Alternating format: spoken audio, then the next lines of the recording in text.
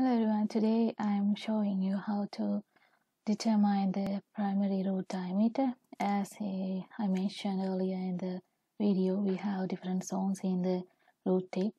So you need to determine according to your experiment in which place uh, you're gonna measure the diameter. So if it is meristematic zone or the elongation zone or the differentiating zone. So this is how it the root tip looks under the microscope. So you see it's very hard to determine which place is this uh, zone or the zonations are appearing. So to begin with, as usual way, we are using the ImageJ software.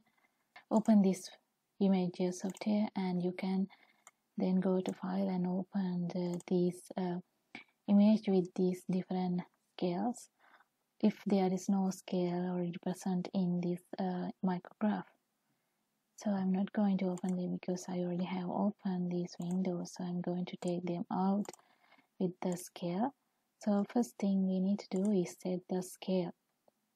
So right click on these uh, different tools and uh, you can just pick the straight line and then draw a line to set the scale. Go to analyze set scale and then you can put into one millimeter and set to global so that all the time if the micrograph with the same scale will have this uh, 1 millimeter scale. So you can click ok or just you can use this 200 micrometer drawing the line and follow the same procedure to set the scale. And then go to your micrograph and take this window out. And you can uh, use this hand tool to move this uh, micrograph or this zoom function to zoom in and out this uh, root.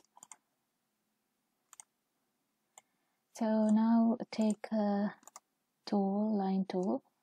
I'm going to use the straight line and draw a line like this